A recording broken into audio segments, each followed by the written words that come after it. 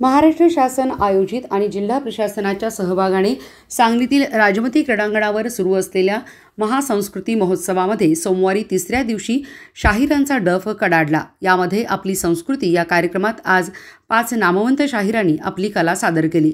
प्रारंभी महापालिकेचे brand ambassador Deepak Chavan यांनी राज्यगीत सादर करीत कार्यक्रमाला सुरुवात केली. यानंतर सांगलीतील लोकप्रिय शाहीर अनंतकुमार साळुंखे व त्यांच्या सहकाऱ्यांनी छत्रपती शिवाजी महाराज यांच्यावर आधारित पोवाडा सादर करीत परिसर दणाणून सोडला. यानंतर मिरजेतील शाहीर अवधूत पवार व सहकाऱ्यांनी गोंधळ नृत्य सादर करत सर्वांची मने जिंकली. याचबरोबर प्रसिद्ध शाहीर राम जाधव राष्ट्रपती पदक विजेते शाहीर बजरंग आंबी आणि अवधूत विभूते यांनीही आपल्या शाहिरी कला या मंचावर सादर केल्या. या तिसऱ्या दिवशीच्या कार्यक्रमात सांगलीतील रसिक नागरिक मोठ्या प्रमाणात उपस्थित होते.